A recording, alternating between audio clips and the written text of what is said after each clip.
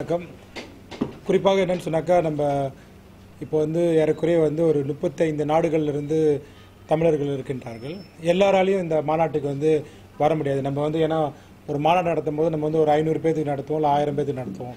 ஆனால் எல்லாரும் எல்லா இடத்துலையும் பிஸ்னஸ் செய்கிறாங்க ஸோ அதனால் வந்து ஒரு ஆன்லைன் டைரக்டரி எங்கே போனாலும் நம்ம வந்து எது தேடினாலும் சரி எப்படி வந்து தமிழர்கள் வந்து எந்தெந்த துறையில் இருக்காங்க எவ்வளோ பேர் இருக்காங்கன்னு சொல்லிட்டு ஒட்டு மொத்த தமிழர்கள் வந்து ஒன்றிணைக்கிற ஒரு டைரக்டரி மாதிரி நம்ம செய்யலான் இருக்கோம்.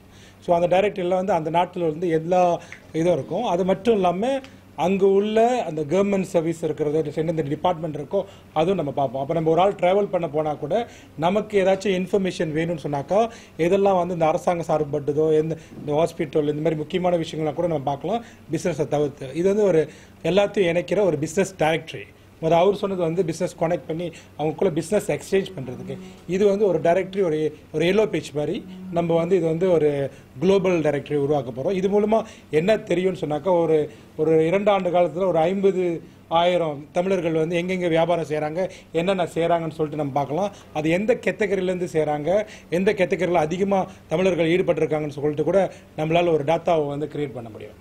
அதுதான் நம்ம செய்கிறோம் அதுக்கு வந்து ஒன் டேப்னு பேர் வச்சுருக்கோம்.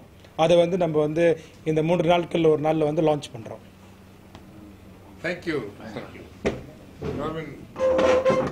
ரைஸ் மார்ட் உலகம் முழுதும் ஒரு ரைஸ் மார்ட் செய்யக்கூடிய